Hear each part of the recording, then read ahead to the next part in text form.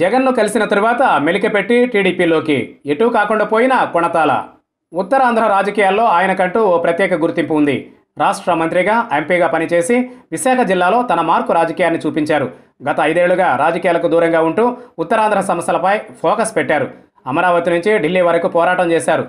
రాజకీయాలకు దూరంగా ఉంటానంటూ ప్రకటించిన ఆయన అకస్మాత్తుగా టీడీపీకి అనుబంధంగా మారిపోయారు. తెలుగుదేశం పార్టీ అధికారం కోల్పోవడం వైఎస్ఆర్ కాంగ్రెస్ పార్టీ విజయం సాధించడంతో ఆయన పరిస్థితి అగమ్య గోచరంగా తయారైందట. ఇంతకీ ఆ నేత ఎవరని అనుకుంటున్నారా? ఇంకెవరు? మాజీ మంత్రి ఉత్తరాంధ్ర చర్చా వేదిక కన్వీనర్ కొణతాల రామకృష్ణ. నాలుగేళ్ళ పాటు రాజకీయాలకు దూరంగా ఉంటూ ఉత్తరాంధ్ర వాసులకు మరింత దగ్గరయ్యారు కొణతాల రామకృష్ణ. దురదృష్టం ఏంటంటే తటస్థునిగా ఉన్నప్పుడు అటు వైఎస్ఆర్ కాంగ్రెస్ పార్టీ ఇటు తెలుగుదేశం పార్టీ జనసేన పార్టీలు చాలా గౌరవం ఇచ్చేవి.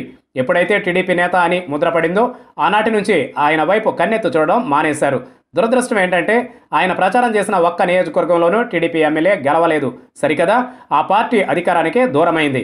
దీంతో కొణతాల రామకృష్ణ పరిస్థితి దయనీయంగా మారింది. రెండు వేల పంతొమ్మిది ఎన్నికలకు ముందు తెలుగుదేశం పార్టీ వైఎస్ఆర్ కాంగ్రెస్ పార్టీలు కొణతాల రాక కోసం వెయ్యి కళ్ళతో ఎదురు చూశాయి అంతేకాదు జనసేన పార్టీ కూడా ఆశగా ఆయన రాక కోసం ఎదురు చూసింది. ఉత్తరాంధ్ర చర్చా వేదిక పేరుతో రాష్ట్ర స్థాయి నుంచి ఢిల్లీ స్థాయిలో ఉద్యమాలు చేపట్టడంతో ఆయనను పార్టీలోకి తీసుకుంటే మంచిదని తెలుగుదేశం పార్టీ వైసీపీ జనసేన పార్టీలు ప్రయత్నించాయి. తెలుగుదేశం పార్టీలో చేరాలని చంద్రబాబు నాయుడు ఆహ్వానించడంతో అమరావతి వెళ్ళి చంద్రబాబు నాయుడును కలిశారు. పార్టీలో చేరతానంటూ కూడా హామీ ఇచ్చారు. ఆ తర్వాత వైఎస్ఆర్ కాంగ్రెస్ పార్టీ నుంచి కూడా ఆహ్వానం రావడంతో రాత్రికి రాత్రి విమానంలో హైదరాబాద్ వెళ్ళిపోయారు జగన్ను కలిశారు. జగన్ వైఎస్ఆర్ కాంగ్రెస్ పార్టీ కండువా వేద్దామనుకునేలోపు కొత్త మెలిగి పెట్టారు. తనను పార్టీ నుంచి సస్పెండ్ చేస్తూ జారీ చేసిన ఉత్తర్వులను ఎత్తివేయాలని ఆ తర్వాతే పార్టీలో చేరతానని చెప్పుకొచ్చారు. అందుకు జగన్ ససేమిరా అనడంతో వెనక్కి వచ్చేశారు. టీడీపీ నుంచి వైసీపీ వైసీపీ నుంచి మళ్ళీ టీడీపీ వైపు చూసేసరికి టీడీపీలో సీట్ల పంపకాలు సర్దుబాట్లు అన్నీ జరిగిపోయాయి. కొణతాలకు ఇచ్చేందుకు ఏమీ లేదని చంద్రబాబు తేల్చి చెప్పారు. దాంతో కొణతాల రామకృష్ణ తెలుగుదేశం పార్టీ గెలుపునకు సహకరిస్తానని హామీ ఇచ్చి ఎన్నికల ప్రచారం నిర్వహించారు. తీరా ఎన్నికల ఫలితాలు చూసేసరికి ఒక్కబోర్లా పడ్డారు. తెలుగుదేశం పార్టీ ఘోరంగా ఓటమి పాలవడమే కాదు. ఆయన ప్రచారం చేసిన ఒక్క నియోజకవర్గంలో ఒక్క అభ్యర్థి కూడా గెలవలేదు. దీంతో ఎన్నికల ఫలితాలు వెలువడినప్పటి నుంచి ఆయన మౌనంగా ఉంటున్నారు.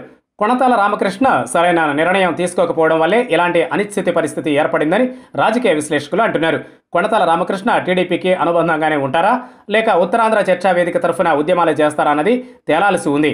అయితే ఉత్తరాంధ్ర చర్చా వేదిక ఆధ్వర్యంలో విశాఖపట్నం రైల్వే జోన్పై ఒక పత్రికా సమావేశాన్ని ఏర్పాటు చేశారు కొణతాల దీంతో కొణతాల రామకృష్ణ ఉద్యమ బాటనే పడతారని రాజకీయాలకు మళ్ళీ దూరంగానే ఉంటారంటూ ప్రచారం జరుగుతోంది.